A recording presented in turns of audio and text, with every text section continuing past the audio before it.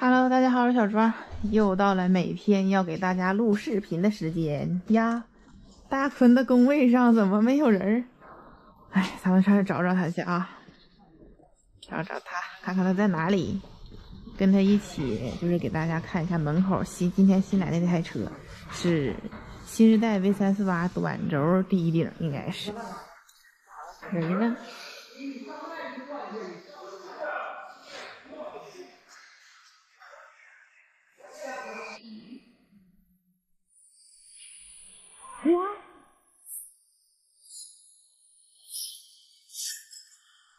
从这个煎饼出来这个门出来，我的妈！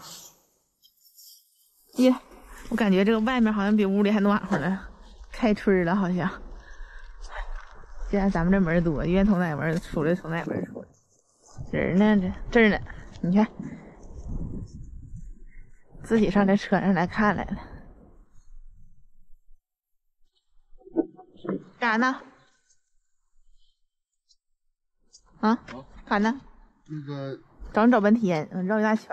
大庆赵源大哥刚送来的车，嗯啊，我们研究完方案，我在这看车呢，咋的了？你寻思看看车呗里的朋友们录视频吗？啊？当然，好像没看着我相机似的，你看看啊，你看大坤 真能整，真能整事儿。这两天好多朋友说，大坤，我跟你说，你的衣服真好看，你知道吗？嗯我找你找的多费事，嗯，怎么也不留个电话呢？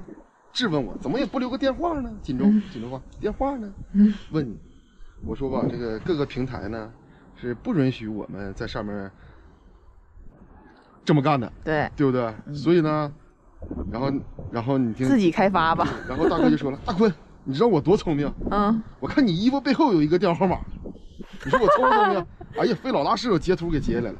不是一个人啊，不是一个人，两个人，好多人都这么说。是的，嗯，所以说呢，我们呢？考验眼力的时候到了啊，不是，你看啊，我这是个自然的转身，对吧？对，有风的我还不能来回晃一晃了吗？吹动了呗的，就看截图手速了。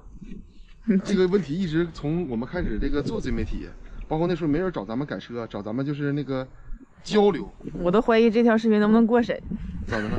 一直在这说，我没说啥呀，那行，继续。我说你看我们这个，衣服是老多买的，你瞅瞅，瞅瞅这身上全是灰呀，这身上对呀、全是灰呀，我说啥了吗？啥我只没说？是让给大家展示我们这个 这个对待工作非常有热情、激情的红颜色的工作服吗。是是，不说了，看看这个大庆赵源，我这个大哥的车，嗯，嗯，大哥是啥呢？啥呀？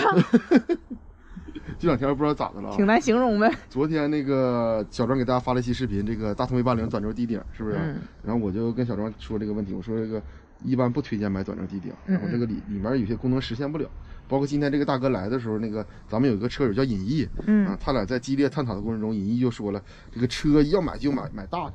嗯，这个买买你你主要看你这车的用途是干嘛，对吧？嗯你这车开出去就是玩儿的，你想想你在车里能站起来和你在车里站不起来是两个体验吗？对吧？是大坤故事会那尹哥吗？对，就是那个尹哥，咱们咱们只有一个尹哥啊，这个尹哥出镜率很高。嗯今天要到这咱们来这个送气囊减震来了，他是做气囊减震的，嗯然后就探讨这个很尹哥很激烈啊，尹哥就是很坚持自己的想法。你车既然你买了，那你你你出去玩儿，你为啥非得下地库呢？嗯但人大哥说了，是大哥大哥说我我我大连有房子呀。嗯完尹哥就反问，那你大连房子是市中心吗？大哥说：“对呀、市中心呢。”尹哥说：“啊，那好，当我没说，就是不好停车。人家已经是先买的房子，后买的这个地下车库，因为大哥是大庆的嘛。然后这个在大连买了一个房子，想在那那边玩儿，嗯去全国各地也也用这个车。但是现在这个不是完全在退休状态，还有一部分生意要打理，所以呢，他纠结来纠结去买了这个地顶。尹哥就有不同的观点，嗯，然后他俩很激烈的讨论嘛，然后我就一直没有插话。辩论了吧？就对我就没有。插话，因为我心里是有想法，但是我跟这个这么多网友打过交道，我是知道的，就是这个每个人都有自己的想法，人家都是成年人，人家活到这个这这个这么大岁数，这个经历和阅历，还有这个做生意的头脑，包括这个工作的这个态度，还有这些经历，都比你厉害。人家知道什么样的车型适合自己。对，哎，那边是来车了吗？没有啊。你这是特意的。不是不是不是，就是人家知道是什么东西适合自己的。嗯当然了，也避免不了一些这个就是没有一些经验，然后这个想从咱们这获取一点信息的朋友，嗯咱们就会实话实说了，说大哥，你给我推荐一下，来火车了。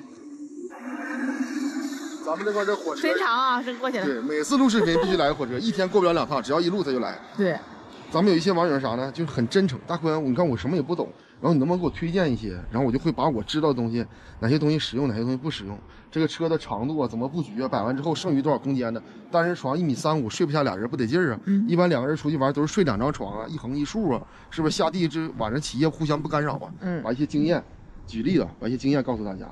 这样呢，好多朋友说啊，大坤你说的真对，我吸取你的经验。但也有一部分网友呢是，嗯，听听就行了。嗯，我听你的，人家有自己想法。我都跟我媳妇在床上睡一个睡一辈子了，那个那个你怎么出门我怎么还得分开睡呢？是不是？嗯，啊，所以说每个人说的都有道理。然后那边来个大哥说，在家都不一起睡，他一个屋我一个屋，我上车上往一起挤啥呀？挺热的。对，所以说你这东西咋整？你就把两个大哥叫一起辩论。大哥你先说吧，你说你到底为啥在一起睡？那个大哥说，我我就不在一起睡，能咋地吧？不能这么干。掰扯不明白。所以说不能这么纠结，这样呢就会出现一个问题，到底低等的车对不对呢？没有对不对，嗯适合你就对，你买了之后你开心就对，嗯，你买了之后你闹心就不对。对，现在这大哥是非常非常非常的开心，是那就是完全完全完全的对。完全正确。真真正到两台车，大哥在路上碰着这个网友了，开着的新时代短轴低顶，后面跟着一个 C 型房车，他俩一起相约到大连。嗯大哥到大连自己的家盛情邀邀邀请他吃这个哈啤酒，嗯，吃嘎啦，对不对？喝啤酒吃嘎啦，对吧？你刚到门口，大哥歘一下子钻地库里去了，C 型房车在那瞅着，呀，人呢？对不对？跟不上了。这个时候你的优势，想跟也下不去你的。优势就体现出来了。嗯所以说世界上没有绝对对的事儿，也没有绝对错的事儿，也没有绝对完美的东西。嗯又想进地库，又想站起来在里面翻工的跳绳，不可能。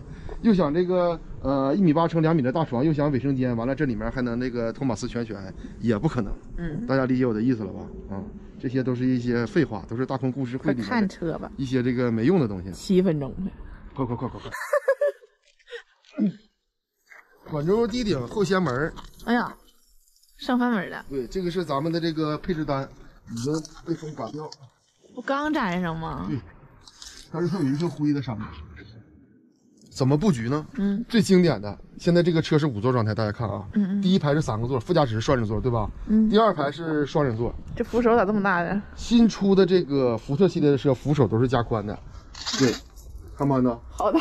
包括新出的途亚诺座椅都是加宽了，啊可能根据新的这个规定有关系，他们都加宽了。但是你真正加宽之后，它放在车里是不实用的，车主们就要把它拆掉，多花这部分钱再换座椅，对，也没有办法，啊、这个东西咱们只能适应它。嗯，车主咋改呢？副驾驶双人座拆掉不要了，第二排双人座拆掉不要了啊，然后换一对儿能变床的座椅，在这个副驾驶往后的这个到中门这个方向能变成一张床。嗯，床的后面，这个座椅变床的后面呢，是一个低床、矮床。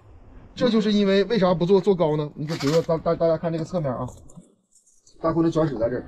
正常如果一台新一台这个轻客车型在这儿的话，我们的床一般会坐到这儿，对啊对，吧？窗户下沿，嗯下面储物空间大，上面还不超过玻璃，对对对吧？对大家一般是这么理解。但是为啥这个大哥的车只能坐到这儿呢？四十多呗。对，为啥只能坐四十多呢？因为它是低顶顶，它如果坐高了，它在里面是直不起头来的。比如说这现在是床，然后我如果把床做高的话，大宽是大哥的话，这个脑袋就得这样。你可以是大哥。然后吧，穿衣服的时候就你看，你看我这胳膊，给大家嗯真实的说一下这个低顶车的感受。如果说这是床，你的床做高了，上面是顶，低歪着脑袋，然后你要想脱毛衣，你是不是得这么脱呀？嗯。但是你抬到这儿伸不开的。对抬到这儿的时候，哎，就顶住了，所以你可能就得趴下，趴下这么往前脱。同样道理，穿毛衣的时候也是。嗯。啊，这就是它一些弊弊端。然后呢，做到四十多公分，四十多公分跟前面的座椅打成一个全全全全部的平面，嗯，也就是从这个车尾部一直到这个驾驶台都能连成一个床。哎呀，啊。带劲呢。带个带个家里的小朋友在前在上面来回跑跳都可以了可以。啊，这是大哥自己设计的一个亮点。嗯，然后呢，它的相应的车底下的储物空间就小了，对啊可能煤气罐在里面都立不起来了。是，但是跟大哥沟通沟通沟通之后呢，大哥说没关系，我也不大使煤气罐，使个卡式炉，使个电。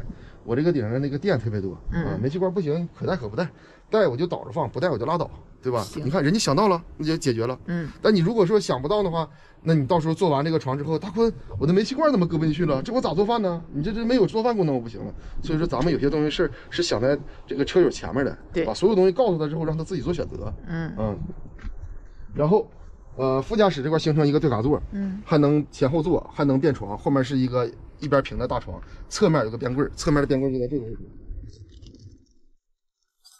就在一进门正对着这个空间，在里面有一个边柜，集成了一些冰箱，呃，微波炉、电磁炉，还有一些台面的这些这个功能，就在就在这个正对着这个位置，集成那么多呢？对，集成这些功能，呃，大概的布局就是这样。嗯，这样的话呢，也是比较标准的短轴车的这个做法，对，是不是？呃，咱们也不搞特殊化，因为这个车已经不是说咱们这个车今天头一天出，我是第一个买的，然后第自己第一个设计的，是不是？短轴车已经好多人在在在改这个东西了，借鉴过来之后，这个这个布局这个东西最适合大哥，就最合理。对，这是说一下大哥里面这个布局，然后再咱看一下上面这个太阳能板，太阳能板是大哥看自己在家动手制作的。可以啊。买了这个新时代专用的这个行李架支架，是卡在这个边上的，只有新时代能卡。对，然后大哥自己在家，呃，因为他是搞建材生意的嘛，就是家里这些工具啊什么这些材料很全，喷了白颜色的漆，啊，都给它喷成白的了。上面用这个四十乘四十的国标角铁做了一个框，嗯，然后他就假装成这是一个行李架了。啊，啊，就是如果说好，那遇到什么问题，说你顶上背的啥呀？那大哥可能会跟他说，我背的是行李架上，行李架正常不超过三十公分是不违规的，是吧？嗯所以说大哥在里面镶嵌了一个太阳能板，顶上整个是八百瓦的太阳能板。哦，也就是说上平面就是在这这这个边儿呗，是不是？对，这块你看大坤摸的这个位置啊，就是已经是上太阳能板了。我这个高，可以大家看一下。我这这有点哎我对，这块应该能看着。对，就是这样。这个就是大哥自己在家动手完成的一个东西。是。啊。挺带劲。对，然后呢，下面就是大哥自己完成不了的了，就需要咱们来共同完成，辅助完成。辅助完成，辅助大哥，对。对，上位。嗯，多了不说了，嗯、大家可能也能通过视频里听出来大坤一点观点，但是大坤不会特别直接的去告诉你说你买啥车啥车，对吧？嗯。我说完之后，你来分析你是哪种人群，哪种是适合你的，嗯，啊、然后你去选择车型。对，嗯，我还是更推荐这个稍微大一点的空间，那最起码能在这个改装，因为啥？你体格大是吧？我本身也体格子也大，在这改装过程中呢，这个有我们也有发挥的空间。你在使用过程中呢，你也不至于那么憋屈。对，啊，但是现在这个这个这个这个咱们大庆赵源大哥的这台车设计的完全没问题。这车就是最适合他的。对，嗯，对最适合他目前的这种状况的。对，嗯嗯，到大连还能吃吃海鲜，还能下地库，对对吧？嗯，那就这样吧。行，这期视频就是给大家阐述一些观点对，没有什么别的意思嗯，啊。然后希望大家给我们点点关注，好的，呃，然后评论，嗯，呃，然后私信 私信就尽量别发了，咋的呢？实在回不过来。当然，确实是。都你要是都成骡子成骡子了，嗯啊，咱就风太大了不说了。然后喜欢这个这个车型的朋友点关注，后期我们会持续把他的视频做完一整期给大家分享，好不好？拜拜。拜拜。